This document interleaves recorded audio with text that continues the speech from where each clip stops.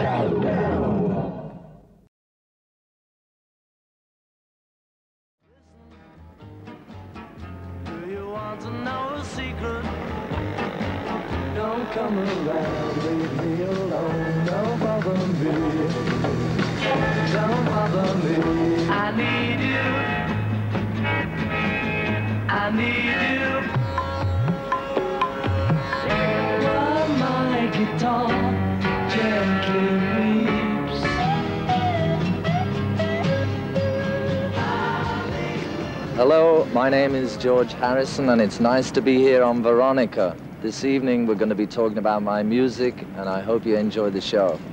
Thank you. Now that the financial and legal problems with Allen Klein have been solved, there seems to be little in the way to uh, reunite the Beatles. Is that true?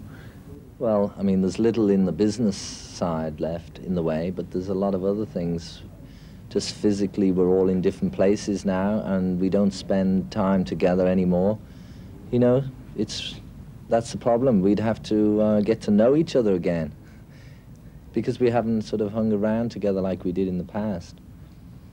So, I mean, it's everybody's into their own lives. It seems very difficult, the idea of getting together.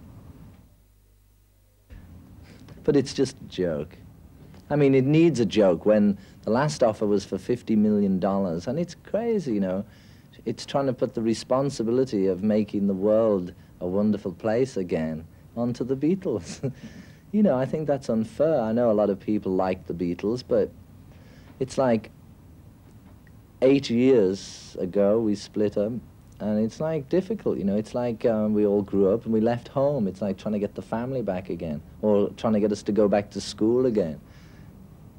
I suppose the first um, feeling I really had that was strong, spiritual feeling, was after taking LSD.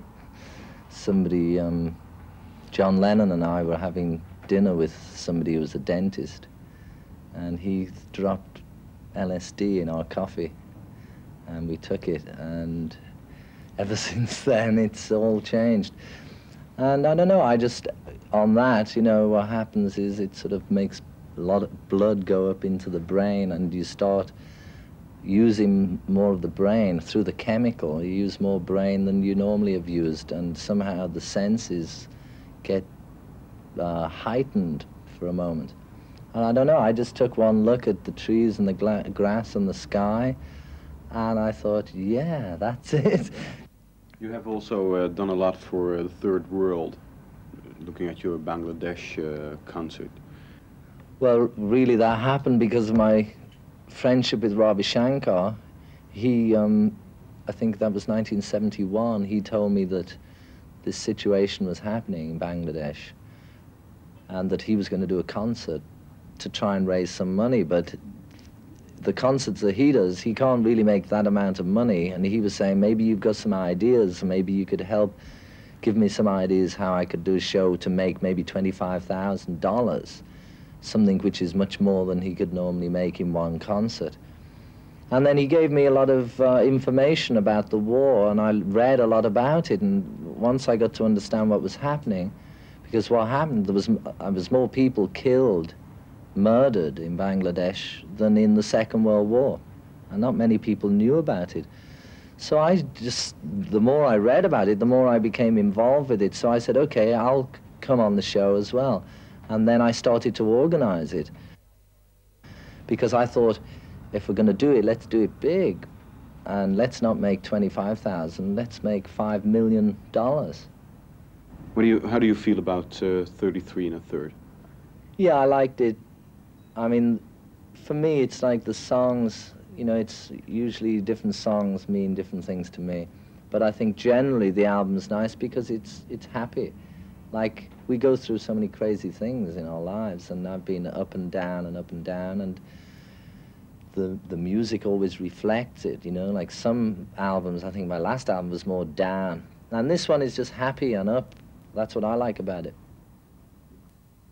Music uh, is your life, and you are very famous, yet your self-consciousness seems to be very strong. Um, how could you maintain that, even through the stormy and, and, and, and rich years of the Beatles? Well, I, it was, uh, I was fortunate in that respect, the, the Beatles were fortunate that there was four people because I think for somebody like Elton, you know, who's on his own, it's more difficult. You go crazy. With the four of us, we either went crazy together, you know, which made it easier, or, or we stopped ourselves going crazy because we had each other's company. But um, at the height of it all was um, the thing where I got involved with India anyway, and for me it was the meditation. Meditation was the key to uh, releasing all the uh, anxieties and frustrations. You know, when the nervous system gets wound up, then meditation is a way of helping to restore some sort of order. That it's like a mirror has become dirty, and so through meditation and yoga, it's the process of trying to polish the mirror so that we can reveal what we really are, which is Satchitananda. Um, perfection, and that's it. Each one is potentially divine, and the goal is just to realize that. So, I mean, that's all I want to do. Nothing much. well, I hope you enjoyed the show. It was a little short this time, but Veronica needs a bit more time, so maybe when they get the longer time, we'll do a longer show. Anyway, I hope you enjoyed it. Thank you very much. Good night.